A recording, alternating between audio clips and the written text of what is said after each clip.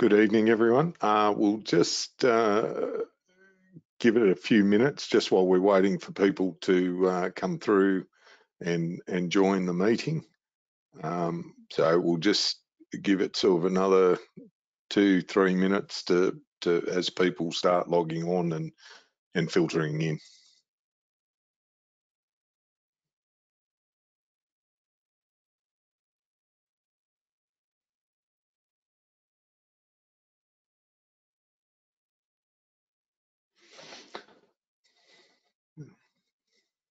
Starting to see a fair few more people starting to come through and on.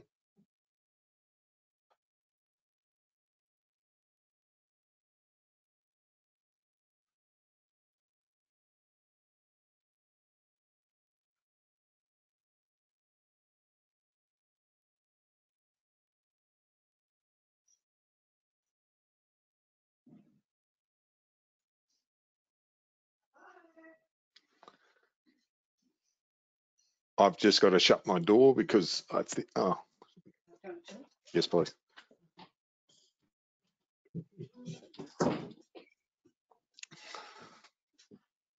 Best laid plans. Someone's just come into the office. Okay, we're starting to get a fair few more people on board currently.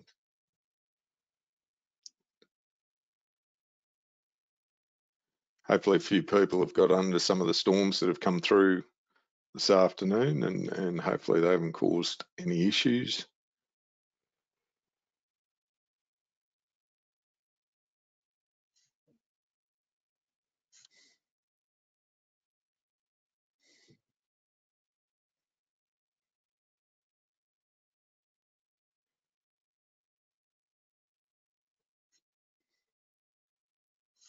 I'll just give it another couple of minutes while we're waiting for people to, to come on board and log in.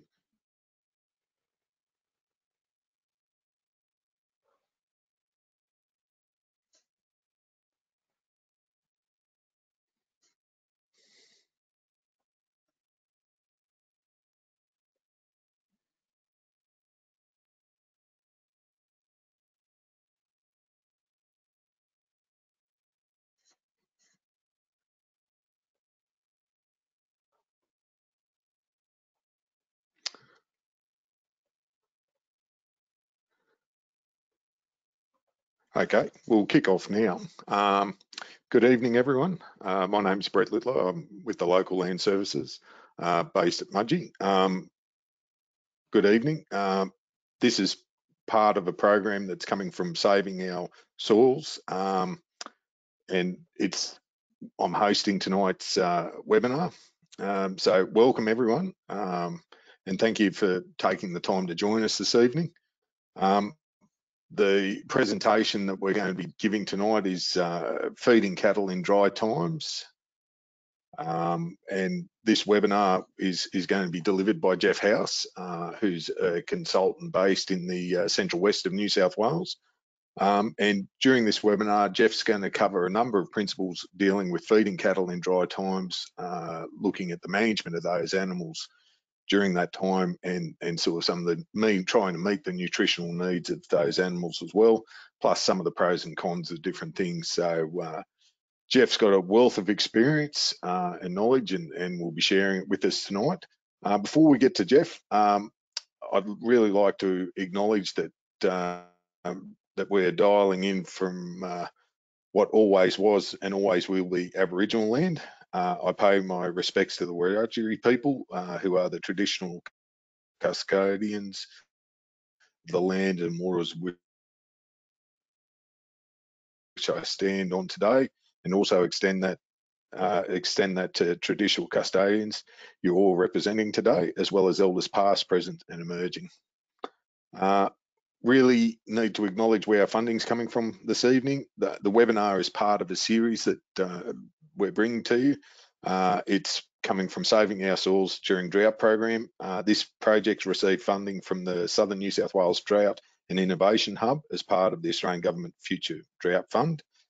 Uh, so we're going to be holding these webinars. Uh, this is this is uh, number four in the series that we've been holding. Um, and we've still got another one that we'll be hosting uh, next week. Thanks very much uh, for for all those people who've registered and come on on board. Uh, we've got this up upcoming webinar next Wednesday uh, from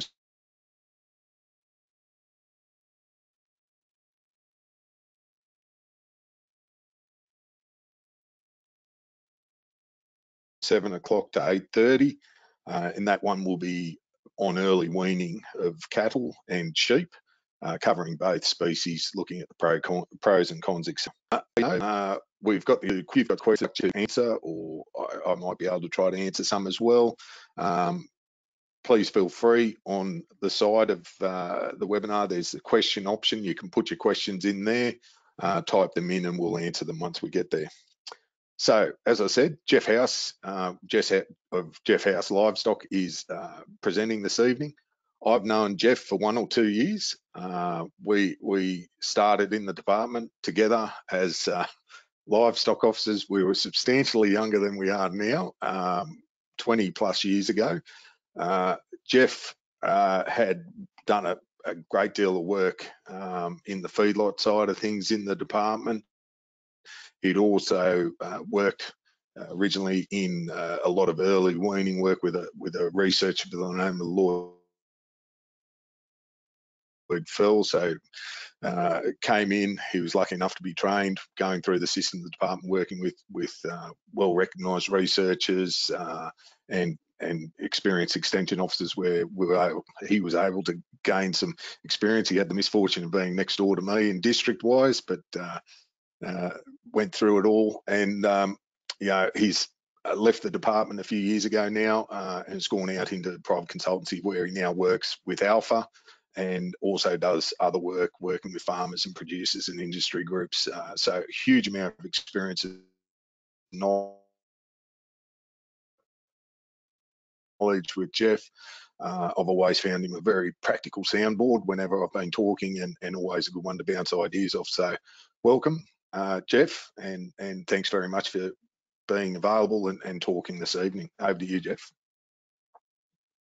Thank you very much there, Brett. Um, yeah, no, look forward to uh, presenting this evening and look, realistically, those years with the department, um, yeah, put us in good stead for dealing with with feeding animals and, and the nutrition side during dry time. So, look, what I want to cover off on tonight, um, really want to talk about establishing realistic targets with your, your livestock, what you're aiming to do uh, with your cattle mm, in regard to feeding during dry times.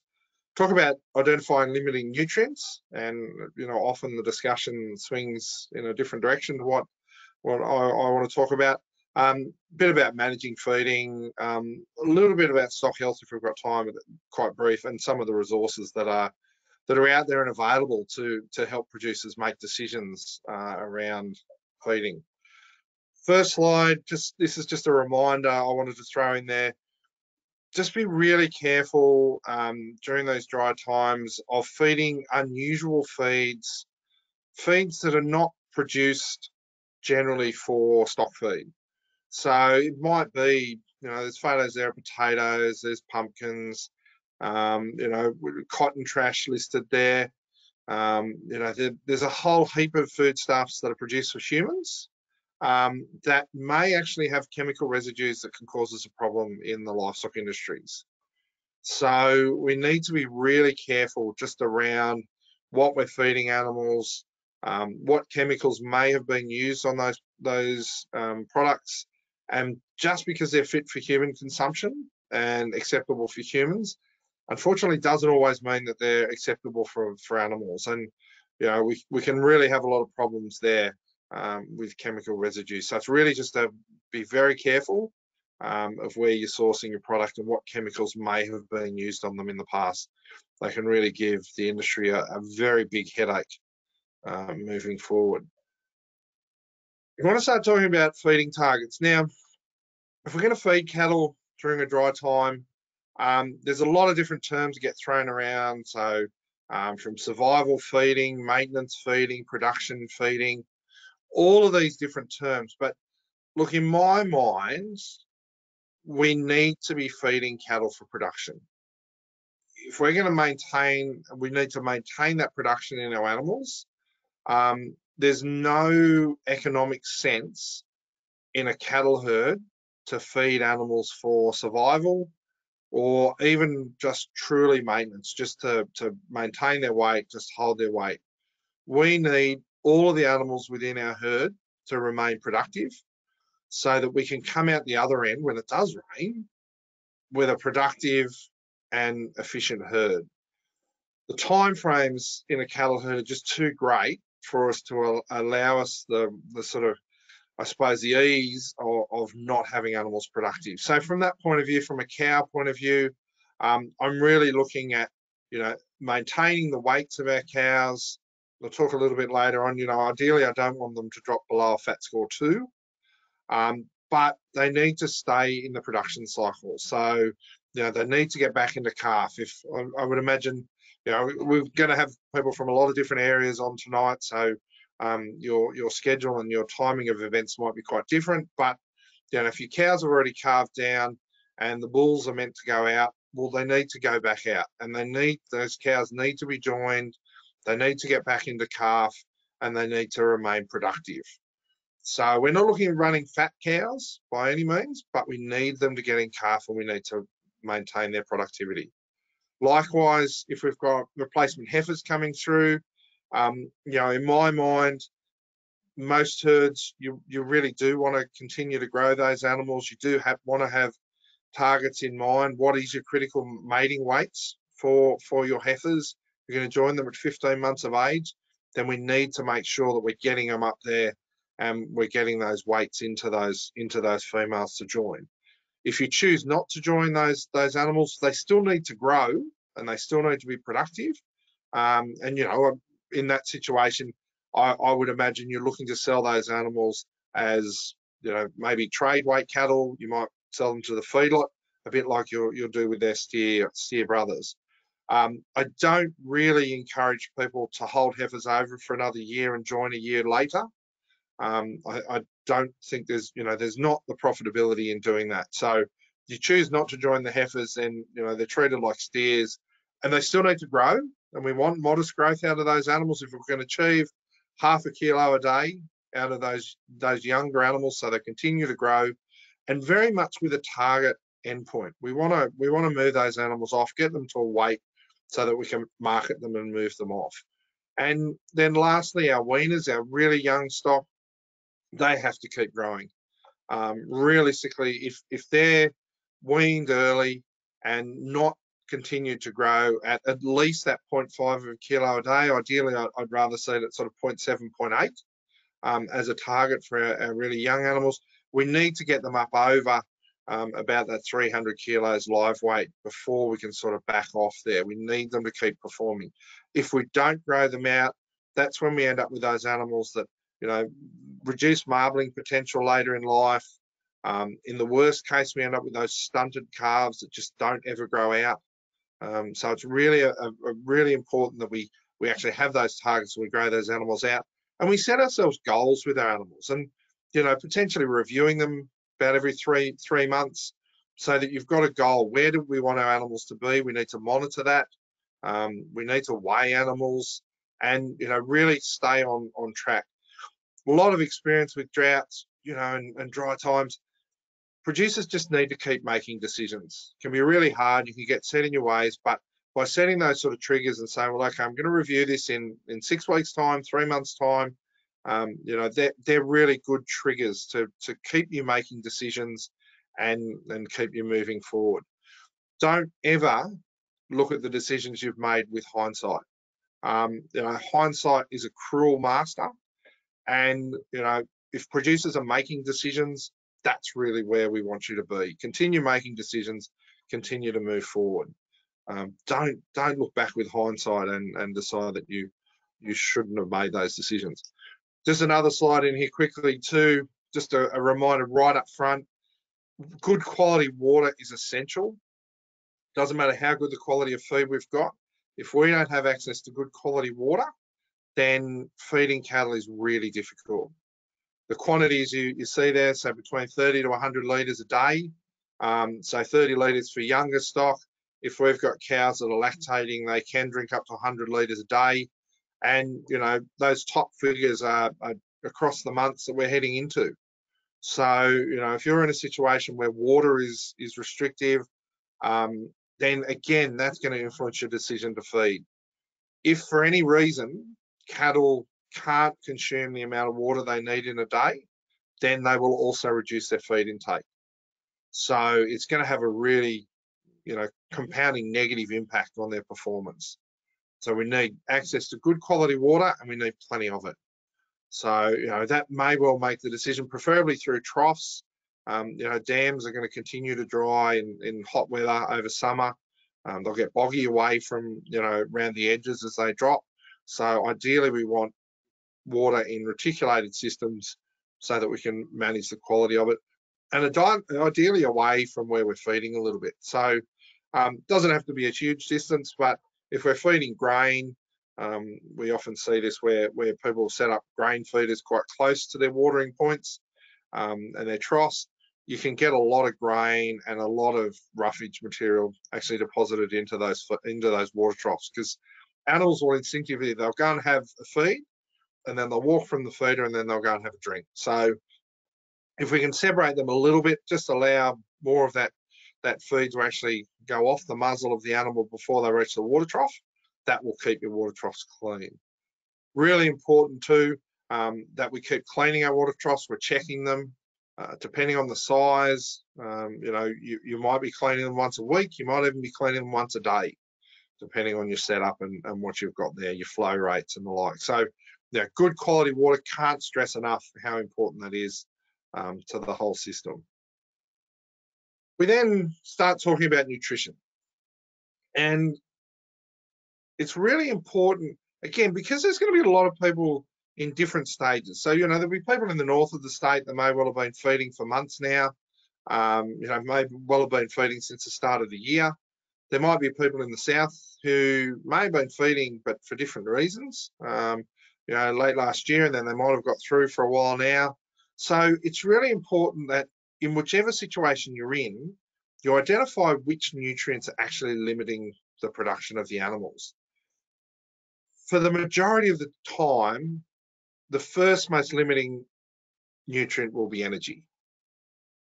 So I often like to use analogies when I'm talking about nutrition, and I use the analogy of a, of a motor car. The energy in the diet is the equivalent of the fuel in your fuel tank of your car. Don't have enough energy, you're not going anywhere. You're just not going to perform. Next is protein. So often during during dry times, protein seems to take a much higher emphasis with people. Often a lot of feeds are sold on based on their protein content. But realistically, protein needs to be in balance with energy. And using that same analogy, I, I, like to think of protein as a bit like the oil in the engine. So the energy is the fuel in the tank, the protein's like the oil in the engine. If we don't have enough of it, the system breaks down. But if there's no fuel in the tank, we can have as much protein as we like, and our our engine, our animal is still not going to perform. So those two need to be in balance. At certain times a year, they get out of balance, depending on the feed that's available we need to make sure they're in balance. And generally speaking, if we talk about from an energy point of view, we talk about megajoules of energy um, per kilo of feed, and we talk about protein as a crude protein percentage. If we've got 11 megajoules of energy, then we're generally going to want somewhere around 13 to 14 percent crude protein. It's usually two to three units um, protein higher a, on a percentage basis than our energy level. So that's where we balance the rations. We then start to talk about minerals and vitamins. Now, these are really important that animals have sufficient amounts of them. But in the analogy, I tend to talk about minerals and vitamins a bit like the battery in the car. Probably not something you think about every day, but if a particular mineral is missing or a particular vitamin is missing from the system, then again, the whole system is going to break down quite quickly. So we've got to be mindful of them, but they're not what's driving production. Minerals and vitamins are really there as a You know, they need to be there at a certain level. If they're missing, then they will limit production. But by having excess of minerals or vitamins, you're not going to increase production in any way, shape, or form. And if animals have access to any sort of green feed, often our, our minerals and vitamins are, are actually dealt with. It's when we start to get in that situation where cattle haven't had access to green feed for a length of time that can really start to run into problems. If we then look at the rumen, so we're, we're feeding a ruminant animal. Um, and there's a lot of differences in feeding a ruminant to, you know, how we feed ourselves, how we might feed pigs or, or non-ruminant animals. And so a really important part of our ruminant nutrition is actually keeping that rumen functioning well and properly.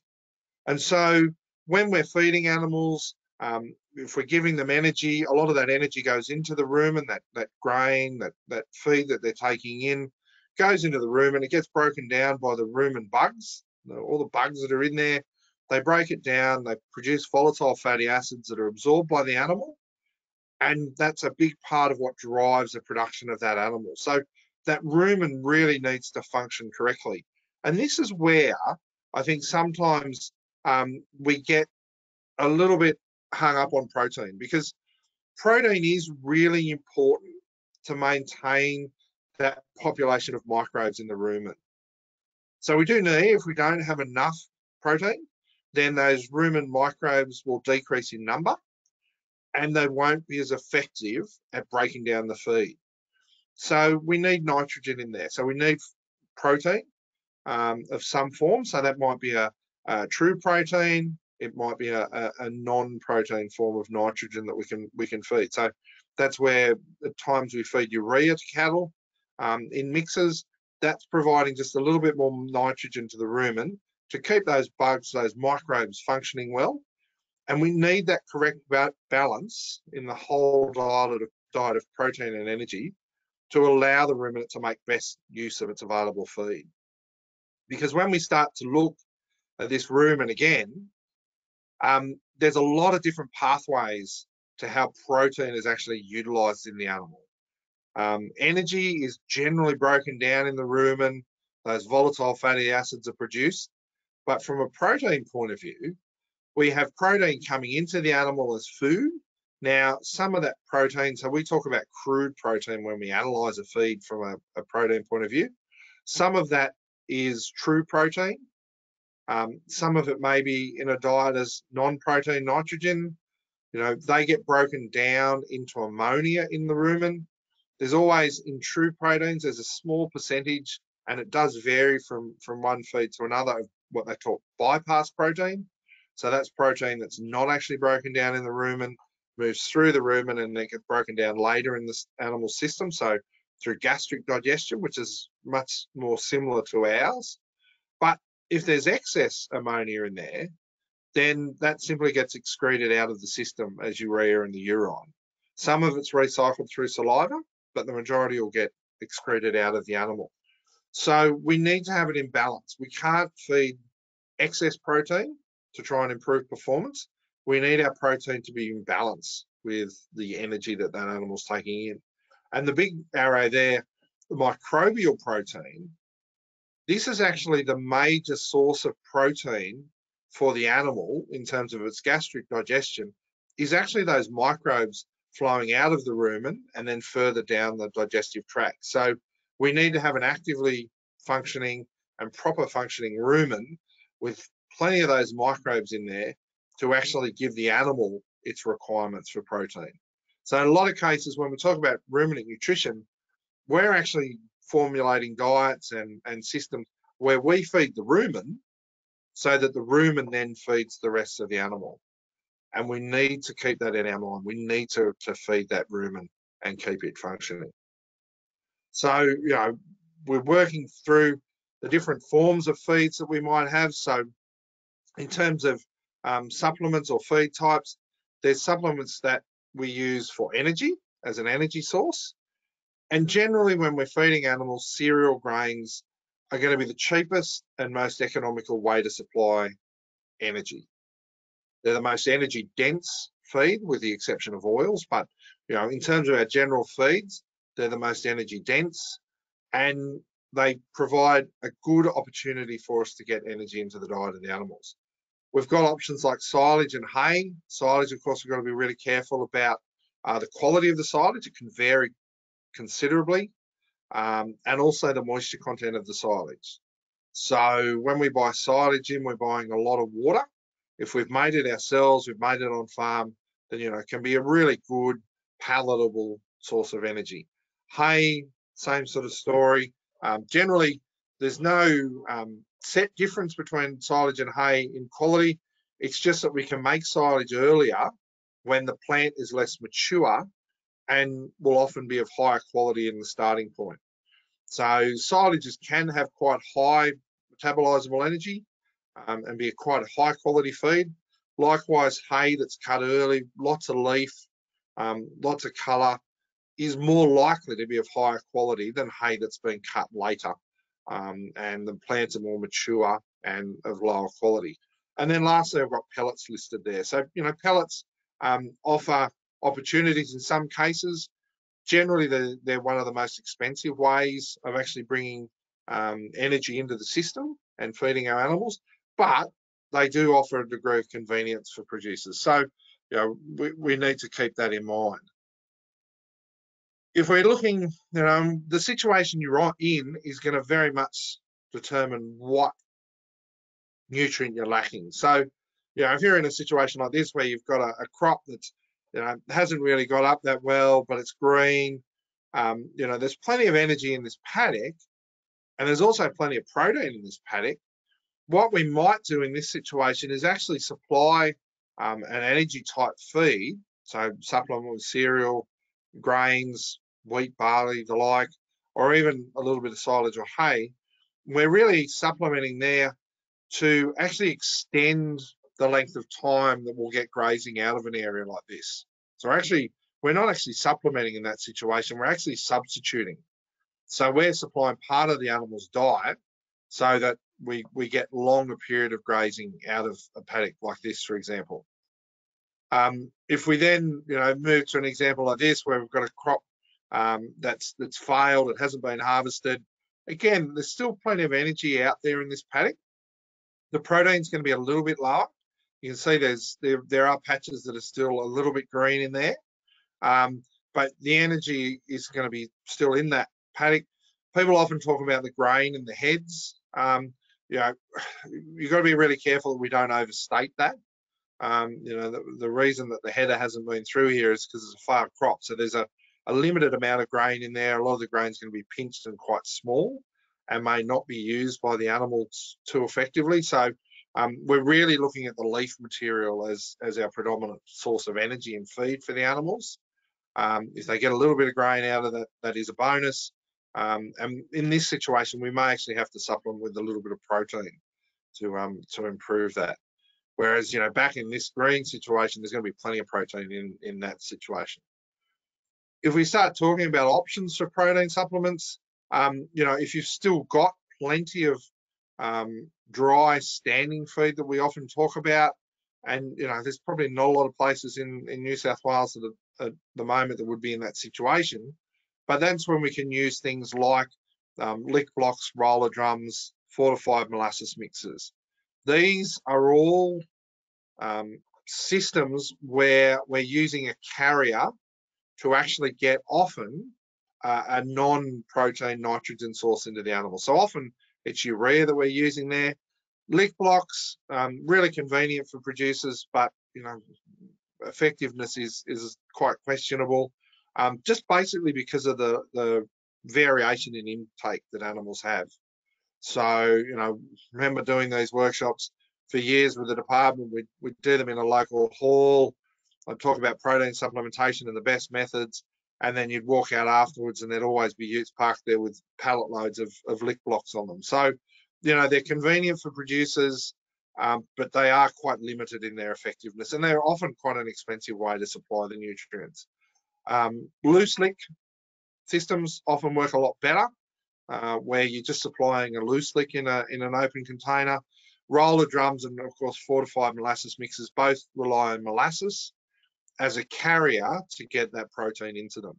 If we end up in a situation where, especially with the fortified mixes, where animals are consuming molasses as an energy source, then we've gone too far and and we're we're in the wrong wrong situation. We're feeding the wrong feed. We're really using molasses as a carrier there because it's sweet. It can it can allow animals to intake um, that nitrogen protein. Once we get to a situation where we're we're really lacking in feed, then that's when we start to look at um, some of our our grains, so lupins, um, you know, any of those those um, sort of grains like lupins, faba, beans, um, you know, we can use those types of things as a protein source. Whole cottonseed is an excellent feed. Um, unfortunately, excellent feed being recognised by by essentially the whole beef industry, um, and so hence is sometimes very difficult to source when when conditions are dry, and, and can be quite expensive. But whole cottonseed is kind of the whole package. It's high in protein, um, it's high in energy, and the so we're talking about the white cottonseed there. Um, you know that lint and the seed on the outside do actually provide a little bit of roughage there as well. So that's where um, you know whole cottonseed is is an excellent energy source. It's an excellent protein source, but you know we would normally use it as a as a protein supplement. So we're going to use what whole cottonseed to balance up um, our protein requirements. And then we've also got the meals, the oilseed meals, so canola, cottonseed, soybean, copra meal. Um, you know, there's a, a, range of meals that are available there that are also generally high in protein. Um, really encourage people to get feed tests on those products because they can vary um, considerably depending on the methods that are used to extract the oil out of them. Um, but yeah, can be really good, good quality feeds that we can use to balance the protein um, in our situation. So again, if we're in this type of situation where you know it's it's dried off, proteins dropped a little bit, we might use um, you know whole cotton seed. We might be able to use a fortified molasses mix in that situation to allow those animals to keep functioning, to keep the rumen functioning, and allow animals to utilise that feed even better. This is probably our normal situation where we'd be using those fortified molasses mixes um, where we've got a stubble in front of us. That again, there's still lots of energy out there in the paddock. It's quite dilute um, in terms of the quality of the feed, but by keeping that rumen functioning, we can allow animals to utilise that feed. So they're sort of options that we've got when we're, we're really looking to supplementary feed. Of course, if we get to this situation, and you know, there's lots of parts of New South Wales at the moment that are like this, then we're really tipping over. We're not supplementing anymore. We're we're really moving into a full feeding situation. So you know, it's a bit of a different scenario there. We can use some of those same feeds. Grain, cereal grain is still our most cost-effective form of energy, and we're looking to balance a ration with with a form of protein. When we move to full hand feeding, there's a few other things that um, are really important just to keep it efficient in its in its system and, and efficient in what we're doing. So really encourage producers to confine their animals into a smaller area, whether this is a small paddock, um, whether it might be yards or pens that you've designed, confinement area feeding, um, you know, is, is really, that's a, a good way to go. And, and, why do we do that? So we're, we're trying to limit pasture and soil degradation across the whole property. You know, we might have to sacrifice an area um, that that we can resow or we can we can um, revegetate later on. But it also allows us to keep a really close eye on our stock, so that we can we can keep an eye on them and and, and observe them really on a daily basis. They're not expending any extra energy walking around the paddock looking for food or water. And we see this especially after it rains and we get that short pick of green feed. Animals will spend a lot of time chasing feed that they really can't access um, if they're given access to, to big paddocks. We reduce the spread of weed seeds if we're introducing feeds, grain, hay, silage. Um, by feeding in a small area, we can keep an eye on, on any weed seeds we bring in. Greatly reduces our time to feed. Um, ideally, we, we want to try and get these confinement areas you know, close to our yards, close to where we process and prepare our feeds, So we can reduce the amount of time and the travel time, especially, it takes when we, we feed out. And the other point there at the bottom, all weather access. It's going to rain and we need to keep feeding after it rains. It doesn't rain feed. So we need to make sure that we can get to these areas and have good all weather access to them. So, you know, if you're getting to this type of situation, we don't want to allow animals to have free reign, open multiple gates and let them go over a larger area. We actually want to confine them back into a smaller area and, and keep a closer eye on them. Just got one slide here about weaning the calves. Um, yeah, wean calves. Brett's going to cover this next week in detail. Um, just quick slide. Ideally, don't let this cow slip below fat score two. And if they've got a calf at foot, that's, you know, we want to get that calf off as quickly as we can. These are kind of the old recommendations, you know, minimum 100 days of age, minimum lightest calf 100 kilos. I can hear Brett laughing in the background there. You know, the experience that people have had over the last 10 years, um, you know, there's a lot of people doing it very well with calves a lot younger and a lot lighter than that. And, you know, Brett will, will cover that in more detail next week. If in doubt, wean earlier rather than later.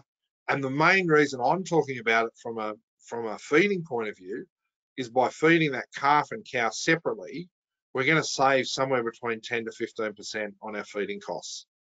We can actually feed a different ration to those two animals individually than what we would as a unit. And there is a bit of um, you know inefficiency in that cow producing our feed, turning our feed into milk to then produce feed that calf. So when things are tight and, and conditions are dry and we're full hand feeding, much better to feed those two units separately. But again, we'll go right back to the targets at the start. We need to make sure those animals are growing and putting on weight. So once we wean those calves, they've got to keep going ahead and you know keep putting on weight. So don't wean them and let them slip. A few other ideas around full hand feeding. We're really in a situation where all animals need to be fed at once. We're not feeding enough feed that all animals are going to um, meet their genetic potential for growth. We, we, are limit feeding them to some extent. So we need to be able to allow all the animals to feed at once and to try and reduce bullying by providing ideally several troughs spread apart so that um, you know the dominant animals don't go in there and eat more than they're supposed to and then we end up with a tail of animals at the end that, that don't get as much. From that point of view, best to draft stock into management groups based on live weight and, and body condition or fat score so that we can actually, those lighter animals, those animals that are in lower fat scores, we can actually draft them off and, and feed them separately and deal with them a little bit um, separately compared to maybe some of the stronger animals that are in, in better condition and, and got more fat on them. In terms of feeding equipment, look, there's a lot of different ways of doing it. Um, you know, I've had many discussions with people. I keep talking about grain as being, you know, the most cost effective. People will turn around and say, well, look, I don't have the equipment to feed grain. Um, it doesn't have to be elaborate, the gear that we're talking about. So, you know, storing grain in hay sheds is, is achievable. You can get a few bales of, of hay or the like, put them around the outside as a bit of a, a bunker. Then, you know, store grain in there. We can feed out grain if we have to with a front end loader. Um, you know, there's there's options there. There's feed out bins that we can have on the back of vehicles um, or trail units that can take grain out to the paddock. We don't have to have really elaborate equipment to feed cattle. If we've got feed mixers, that's fantastic. You know, that makes the whole process a lot easier and we can control it a lot more. But there are other ways of doing it. We don't have to, to go to that sort of process. What sort of quantities do I need to feed? These are a rough guide, um, you know, to, to minimum amounts that need to be fed. So, you know, for a dry animal, um, 500 kilos. You know, if we're feeding grain only, then we're going to get away with about five kilos a day. So that's just to maintain production.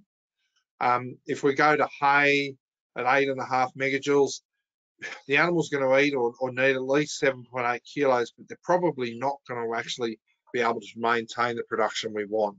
We then go to grain and hay. Uh, there's different options there. The value for silage, of course, is a lot higher.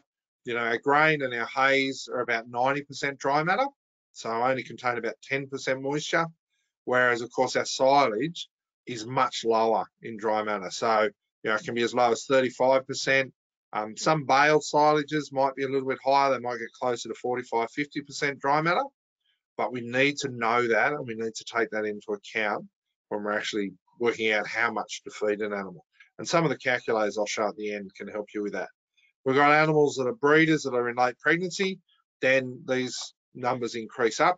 And of course, if our animals are heavier than this, so, you know, a 500 kilo animal in fat score two, um, you know, genetically, your animals might be 600, 650, 700 kilos in fat score two.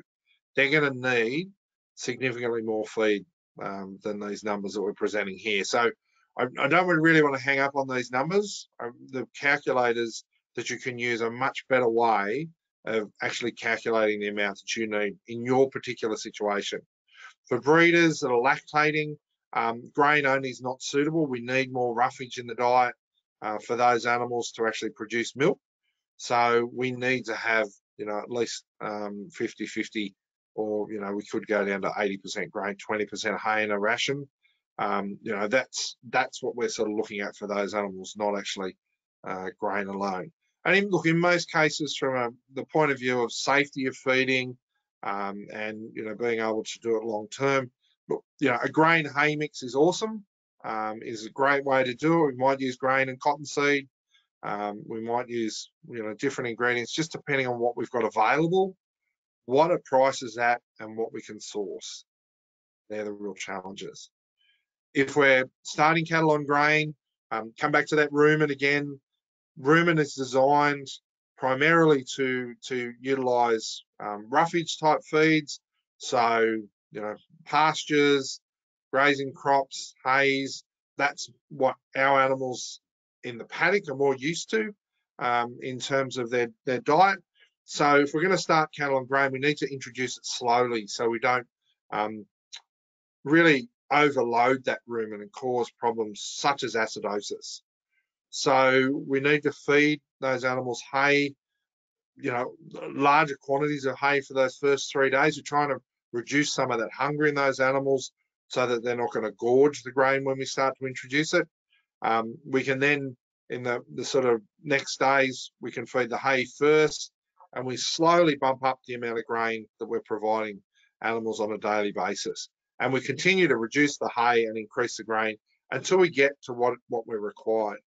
If we've got a mixer, then you know we can mix those together. We can start with a ration that's that's 20% grain and 80% hay, and then every three or four days we just bump up the grain percentage. We we can drop down the hay percentage again. But it's really important that we do this gradually. And one of the really um, key indicators that this is working well is actually if you look at the manure of the animals. So the manure will actually be a really good indicator on how well that rumen's functioning. When animals are on really dry feed, we tend to get really tall, um, sort of mounded manure pats. As the quality of the feed increases, those, those manure pats get lower and, and closer to the ground. But if we actually push the system too far and we, we do induce a little bit of grain poisoning or acidosis, then we can end up with um, feces that are, or pats that are that are really flat. Um, they can be quite bubbly and and sort of really indicative that that rumen is not functioning well and we're causing damage to it. So just monitor the, the pats as you're increasing your grain and see how you're going. The other important factor is trough space. We need to make sure we give animals enough space. I'm a real advocate when we're feeding cattle, regardless of what the feed is, we want it in a trough, we want it off the ground. Um, again, it doesn't have to be elaborate but we need to to get that feed off the ground. Otherwise, our wastage is going to be huge. Um, and you know the the ability of animals to ingest soil and, and dirt when they're they're trying to pick grain up off the ground is is quite high. So you we want to provide adequate space so all of our animals can feed at once. We also then want to um, yeah look at different ways of producing troughs. So again, they don't have to be fancy. These are tractor tires that have got a bit of um, conveyor belting just covering the hole in the bottom of them. They've cut a bit of the side out of the tyre. These actually make really good feed troughs for cows, um, where you can put a fair bit of feed in there. Because they're round, they actually provide significant amount of, of space. And, you know, you can easily fit sort of 10 animals uh, around a, a, tractor tire in that type of situation, 10 mature cows. Um, conveyor belting, you know, this is a system that someone had set up down south where they use um, the fence to keep the animals off the conveyor belting. But, you know, there's no reason why you can't just have conveyor belting flat on the ground as well. Um, you know, that works. The animals will, will tend to trample over it if it's flat on the ground and, and, you know, they've got free access to it. This one has got the advantage that, yeah, it stops the animals wasting feed and it stops the animals from spoiling the feed. But, you know, again, just a great simple uh, method there. For younger stock, you might, you know, use sort of build your own sort of troughing like this. The one on the right there is just done with a bit of um, lightweight sort of conveyor belting or rubber material, plastic type material. Um, the one on the left there is just used um, corrugated iron that's been bent around the frame. Again, just to try and get that feed up off the ground so the animals aren't ingesting dirt as they're trying to trying to um, consume that feed. This type of situation, if you're feeding roughage, you're going to feed that separately. You know, feed that in racks or, or have something around it so that um, again you're protected and the animals don't waste too much. Not a fan of racks where the animals feed from underneath. They can get a lot of um, grass seed and a lot of debris in their eyes. So, you know, those sort of racks where the animals are restricted from from getting in there too far. Um, but yeah, preferably not feeding underneath. You can go to the extent of concrete troughs. You know, they're fantastic. They are expensive. They're heavy. Um, and it really depends on, you know, what else you might use them for down the track. Do you feed your weaners every year? Do you yard wean and feed weaners in the yards for a few days? If that's the case, then, you know, some troughing like this might be um, really suitable for your system. But yeah, just just remember the expense there is going to be considerably more. And self feeders, um, you know, there there are self feeders around that can, um, you know, handle a mixed ration or a mixed feed. Very difficult to re to really screw them down and restrict intake. Um, so it tends to be more for for younger stock or animals that you're trying to actually grow at a higher rate and finish and and move off from the property um, and use those sort of feeders. We come now, just a couple of others. So minerals, calcium and sodium are the, the major minerals um, that are likely to be missing if we're, we're feeding a cereal grain. Um, so we can add them quite simply. So calcium, finely ground ag lime, um, one and a half percent of the weight of grain to a ration, um, and of course salt um, will provide us with some sodium. So half a percent coarse salt to a grain diet. Now, most of our cereal grains, our wheat, our barley, our oats, they're all quite low in calcium uh, and sodium, so that's why we're adding them. There may be situations where you've got a lot of salt in your water. If that's the case, you may not need to add additional salt. And likewise, there might be areas where you're quite phosphorus deficient and you need to add phosphorus to the diet as well. Um, but for the most part, calcium and sodium are likely to be your most limiting nutrients uh, in terms of minerals and the most likely that need to be provided. From a vitamin point of view, most likely deficiencies are going to be vitamin A and E. Um, and vitamin A is found, you know, quite quite good levels in green feed, but the longer animals have been off green feed, the higher the risk of vitamin A deficiency. It's about three months without access to green feed. Now, green feed might, you know, if you're feeding silage that's green, if you've got hay that's got a bit of green in it, then that will provide a little bit of vitamin A. But if it's, um, you know, cereal grain and straw, then, you know, your vitamin A intake for those animals will be quite limited. Some of the symptoms you might start to see, night blindness, discharges around the eyes, and just a general ill thrift in those animals. And, you know, we can we can give an intramuscular injection of vitamin A, D, and E that'll give them protection for about three months, and it ensures every animal actually gets that that um, injection. So, you know, when we if we're feeding for a short period of time, vitamins are not likely to be an issue, but the the longer the period of time goes on that you need to feed, then we need to start to look out for potential symptoms there. Some of the other considerations, I've sort of touched on a couple of those that have gone through. Make sure we get our feeds tested. I really can't stress that enough. Uh, important to know what you're buying, get a feed test done. Um, you know, not necessarily on the mixed feed at the end, but on your individual ingredients, grains, hay, silage. There can be really big um, variations in the quality of feed. And I know Brett's presented data on that in the past. So yeah, make sure you get your feeds tested so you know what you're feeding. It then allows you to create rations and formulate rations. So to use some of those tools to do it. Um, if we're including buffers in there, there are um, additives that we can add that will, you know, reduce your risk of grain poisoning um, to those animals. So, you know, potentially we need to make sure that we're we're doing that all correctly. We need to be consistent in what we do. Once we start feeding, these animals are really relying on us, and we need to be consistent in what we do. We need to weigh out our ingredients so that we're accurate in what we're doing. So, you know, consistency is really, really important. We need to monitor the animals, the performance of animals. Now, that can be through fat scoring, um, but ideally, you're going to weigh animals. And now we don't need to be weighing animals weekly or anything like that, but you know, maybe every month, every six weeks, um, you know, bring bring them in, weigh them, and monitor how you're performing. If you you're keeping an eye on on their fat score and actively going out and fat scoring them, that's that's a plus as well sometimes we can get a little bit close and we can not notice when animals are actually losing weight um, because we're with them all the time. And then if we do need to cull animals, if we need to reduce the number of animals we're feeding, cull with a purpose. This was a phrase I actually copied off, off one of Brett's presentations.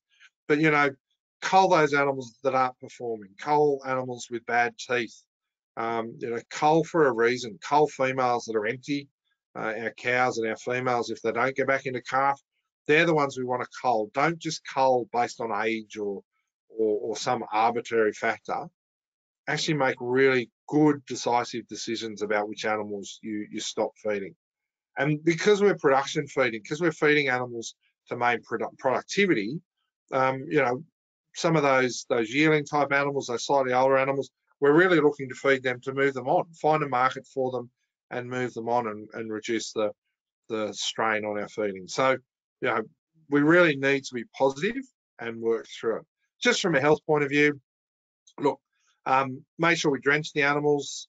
If feed intakes reduce, which we, which will be, um, normally our cows are quite immune to, to internal parasites, our mature cattle, but in this situation they will lose a fair amount of that immunity. So it may well be necessarily drench our mature animals as well as the young stock. Um, vaccinate especially for things like five in one. Um, pulpy kidney can be an issue with grain feeding. Um, so make sure we're covering that and we're, we're not losing animals inadvertently through things that are quite preventable at, at quite a low cross. Potentially looking at fly control. Um, you know, if it's dusty conditions, we've got a lot of flies, we might need to, to control some of those nuisance flies around our animals. BRD is bovine respiratory disease.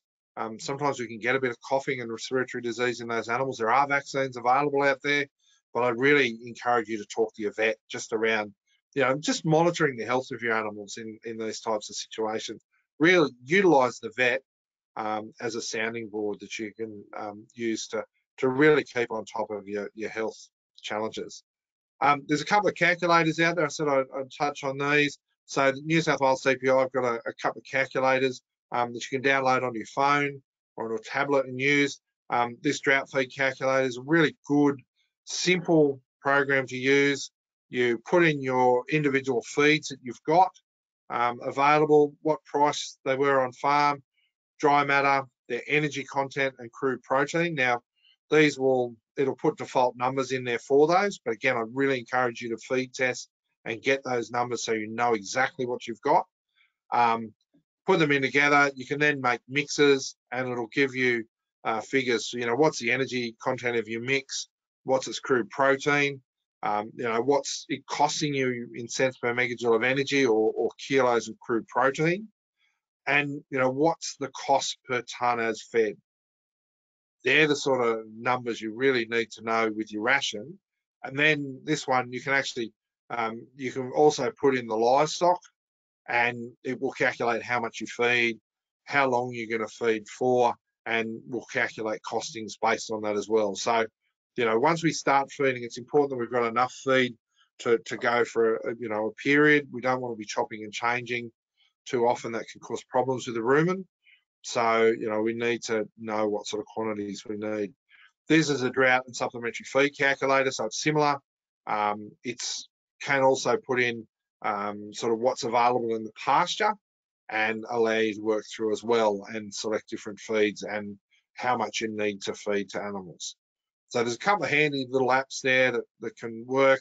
And, you know, I really encourage people to look at those so that they're, they're actually developing something that's really practical and useful for your own situation. In terms of other resources, um, the Managing Drought Guide, look, you know, it's in its ninth edition. I, I believe they're, they're working on a 10th edition. Um, but, you know, this has always been a really valuable resource when it comes to, to feeding animals. Um, really encourage you to download, available on the net, you can download it, um, or it's still available in hard copy um, from from different locations. LLS offices have often got copies of it. Really good resource. Um, water requirements for sheep and cattle. This is a great Primefact again on the Department of Primary Industries website, um, specifically looking at water requirements for, for, sheep and cattle, and also give a plug for the, the Guide to Confinement Feeding of Sheep and Cattle, um, which is a publication put together by the local land services. Um, Brett and myself were both involved in the development of this document. Um, there's a wealth of really good information in there for for people looking at confinement feeding, um, you know, setting up confinement areas, what to feed, how to feed it. Um, yeah, just really encourages. There's resources out there for people. Well, at the end of the day, it is going to rain. Um, you know, we need to look after the stock. I really, you know, it's really important that you look after yourself as well and your own mental health. But you know, keep making decisions, keep looking at your options, monitor your stock. Any decision you make um, in a dry time is a good decision. The fact that you made a decision and you've you've you've worked on that, I, I think is is a positive. So really encourage you to look after yourself and, and your own mental health and well-being. Talk to your neighbours, talk to your friends, compare notes. Look, utilize your own experience. There's a lot of people out there that have got a lot of experience in feeding stock, and often it's just fine tuning what you've done before. So look, I hope that's provided some information for you. I know there's not a lot of really specific details there. I think the broad range of, of producers we've got online um, here tonight makes it impossible to really get down into the, the nitty gritty of exactly what's the most suitable for your situation. But look, there's a lot of resources out there. Utilize the local land services staff. Um, and yeah, look, I hope that's that's answered some of your questions. I'll hand back over to you, Brett. And um, yeah, if there's if there have been questions that come in, I'm, I'm happy to sort of cover off on those. Yep, no worries. We've started to get a couple of questions come come in. One of them was one that uh, you you covered there regarding vitamins and minerals. When would it be advisable to administer vitamin A, D, and E into a supplement or injection? Um, and the same for calcium, phosphorus. Yeah, look, I, I, from a calcium point of view, um, as soon as you start feeding cereal grains, I, would be putting my, my lime and my salt um, out there. Now, if you've got the ability to mix it, um, if people have got um, situations where they're they're actually moving grain through an auger, you can you can make a slurry and actually pour it on the grain as it goes up the, auger. Um, you can mix it into a feed mix um, as a dry mix, or if you know if you can't do that, then you know there is the option to have it separately there just as a dry lick, a mix of, of lime and salt. Um, would be great for cattle. If you're in an area that yeah is phosphorus sufficient, then you know again you're gonna gonna start to potentially use phosphorus. Um, you know just as you normally would in your production system. If you're in phosphorus deficient country, then you're you're gonna use um, a phosphorus additive. Uh, in terms of your vitamins, you, have got a little bit longer. Um, you're sort of really probably looking at a couple of months of, of feeding feed that's got no green in it at all um, before you're really going to start to run into issues with vitamin A and E. But you know, if you have been feeding for a considerable amount of time, then yeah, it's that three months is that window where you'd really be strongly starting to look at um, providing some form of, of vitamin E or A into those animals. Thanks, that, Jeff. Look, and the other one I would cover that calcium is also deficient in, in cottonseed and a few of the other things. Um, we also know that uh, calcium will bind gossypol, so one to be aware of there as well. Um, got a question here. Can we talk a bit more about the pros and cons of, of pellet feeding for weaner stock, Jeff? Uh, yep, sorry, it's probably something I glossed over. Look, um, for really young stock, um, so where they have a really high protein requirement. So if we're talking, if we've weaned early, and I'm sure Brett will talk about this a bit next week too, with those young weaners. Um, if we've weaned early, we've got young animals that are lightweight, you know, even at that 100 kilos, they have a higher um, protein requirement, and they require that through a true protein. So in some situations, pellets are, a really effective way of, of providing that um, if you don't have mixing equipment. So, you know, they're there they're, they're an alternate. The challenge with pellets is really their cost per megajoule of energy is usually quite high and we need to treat them like a grain. So we need to be careful with them in terms of their risk of grain poisoning. Acidosis um, is, is equivalent to a grain. So we need to really handle them with care. And we need to make sure that we don't change pellets quickly. So, you know, if you go and buy a batch of pellets, I'd encourage people to try and go and buy a batch that's going to, you know, feed those young animals, you know, maybe for for the entire period you need. Maybe it's it's 50 days to get them up to a weight when you can start to use them on a different diet. But try and buy enough pellets that can get them through that period, so you're not going and buying another batch. Even though they might be the same, labeled the same pellet, you don't know that the pellet manufacturer hasn't changed um, their formulation or the base grain that they're using. Maybe one pellet was based on wheat, the next pellet may be based on barley. Um, that to the rumen of that animal, that is actually like you've just changed grains. So we need to introduce it slowly. If and this is really difficult. We always talk about it. In practice, it's really hard to do. But you know, if you've got a silo with pellets in it, don't let it run completely empty before you start to use the next silo of pellets. We want to shandy them together and do a similar process that we do to changing grains. Um, so, you know, you might need to do that over a week, five to seven days um, to shandy those together. So look, pellets can be an effective feed. It really does come down to cost, but we also need to be careful with how we how we use them and some of the risks that are, you know, they're, they're not a fail-safe feed but you know, it might be a way that we can actually get that higher protein into those younger animals in a in a more effective way. And those young light animals, they don't need a lot of feed a day. You know, you, you might only be talking a couple of kilos per head per day for those animals. So the quantities can actually be quite small. What I would say is for young animals, don't be very careful with your urea as what's being used to lift the the protein. Uh, there's there's risks associated there, and and also we tend to find not get the benefits uh, with young animals. So the younger they so are, when, when, you're looking at those pellets for really young animals, you're you're often actually buying a specific calf pellet, and they've actually been manufactured by using more of a true protein. So one of the protein meals I, I spoke about might be cottonseed meal, it might be canola meal, more likely, um, has been incorporated into that pellet to raise the protein rather than a, a pellet that might be just fed as a, a drought pellet for mature stock, where its protein level is going to be definitely going to be raised by by sort of non-protein nitrogen. So they're not as effective for those young cattle. They they actually need true protein. So you're actually looking at buying a specific calf protein pellet or a calf pellet. Um, if you can get analysis on the energy value of it as well, that's great. Often they're, they're just sold on protein, but unfortunately. Uh, I've got one here. Thanks, Jeff. Good presentation covering broad range of aspects and maintaining a stock and dry time. Thank you. Uh, next question is, what's your view on suitability of DDG pellets?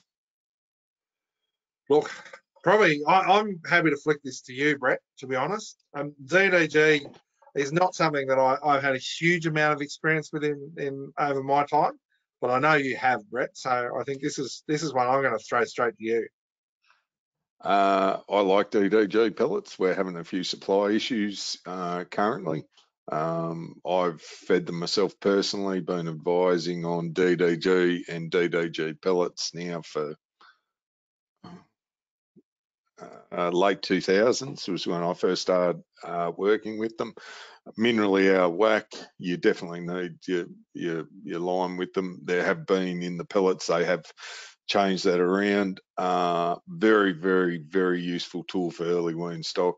Uh, there's a fair degree of bypass protein and the like. They're relatively safe, uh, low level of starch. Um, what I would say is um, uh, you, you probably if you're looking at feeding sheep you you need to be aware that whether wether lambs can be a bit of an issue but they do have a specific uh, brew for for for that that that can help with uh, bladder stones. Um, uh, but yeah so I, I don't mind DDG pellets. Uh, it's what I fed my calves when I early weaned my autumn calves about three months ago uh, that and a mix of cottonseed until I couldn't get cotton cottonseed anymore.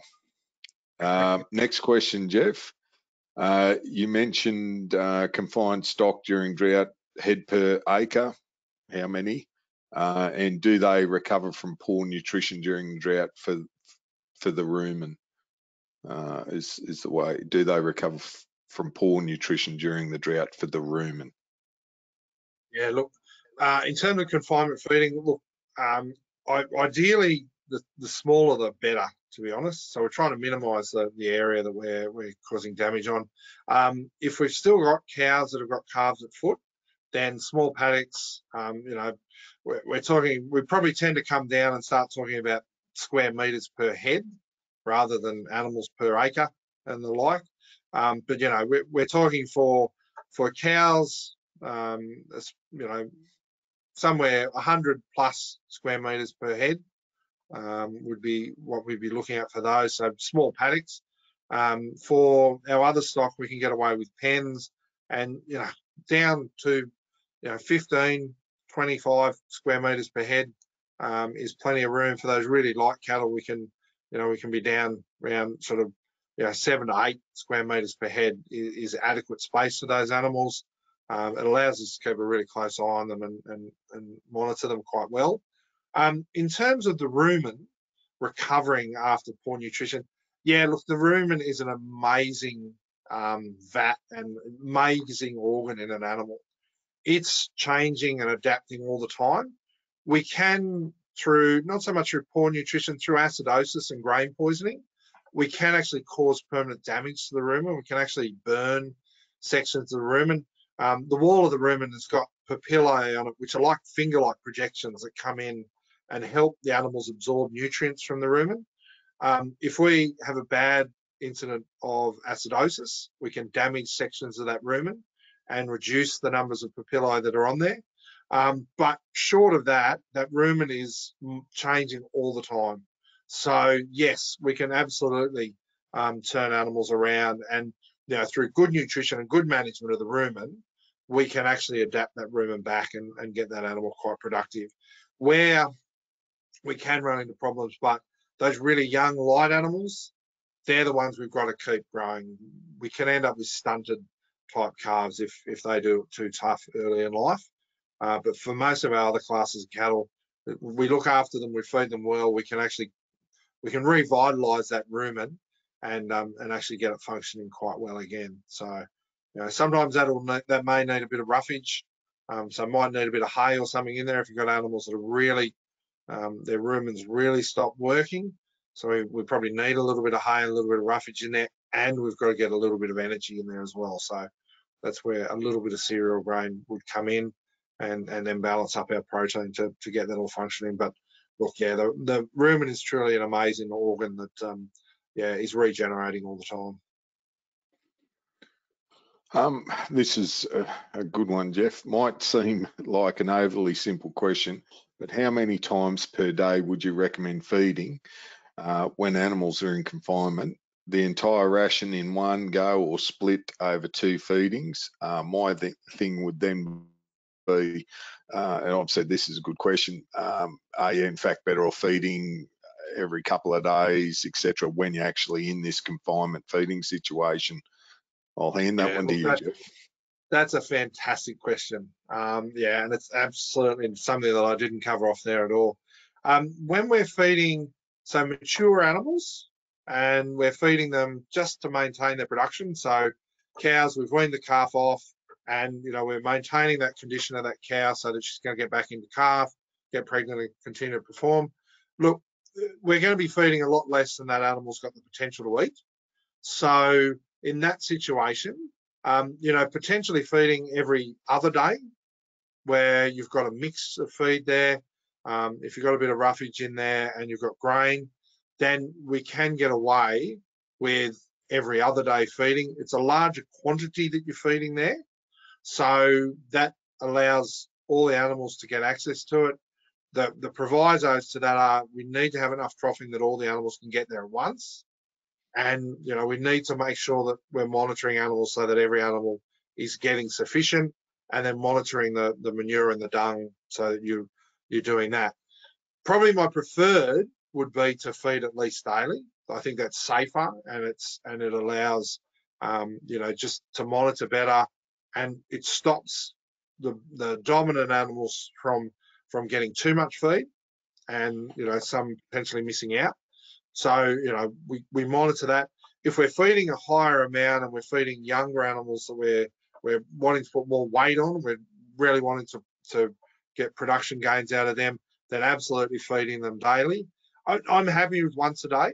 Um, you know, I, I, don't think you, you need to necessarily split feed, um, but you know, once a day feeding, provided you've got the trough space that everything can feed at once.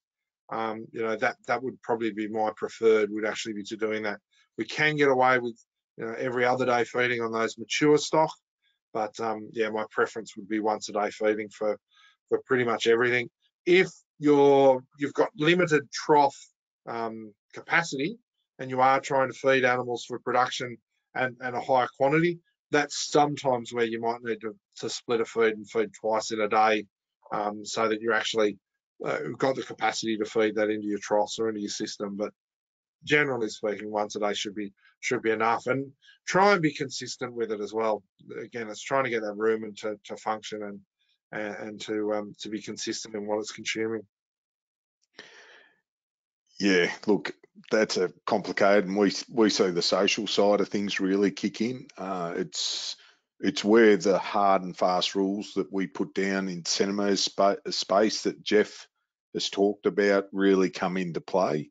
Uh, where we see problems is when people try to short change the minimum trough space or the amount of feeders, etc., etc. And then all of a sudden, what we see in two, three months is this huge tail. And all when I go out and do inspections um, during droughts, all of a sudden I go, uh, okay, we've got a 20, 25% pull rate here. You've got animals underperforming, da da da da. And you sit down and start measuring trough space and things like that, and you go, yep, that's why. So some of those fundamental rules that that are in the confinement feeding manual they're there. We know they're there. We know they're hard and fast. So just that really comes into that feeding and management. And they're all in there as minimums. And if you can supply more trough space, that's better. And even even those those tractor tires where you've, you've got separated, um, you know, if you sit down and watch actually after you feed out, if you've got dominant animals in the group, if it's one long single trough, a dominant animal will start at one end and push its way along and continue to eat from one end to the other.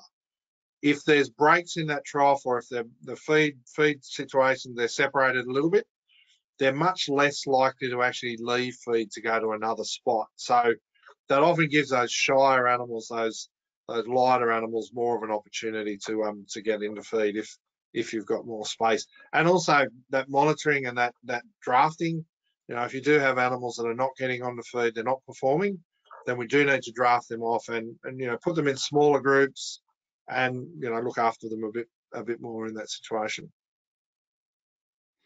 Um, the question here is creep feeding an option to get these younger calves off cows earlier?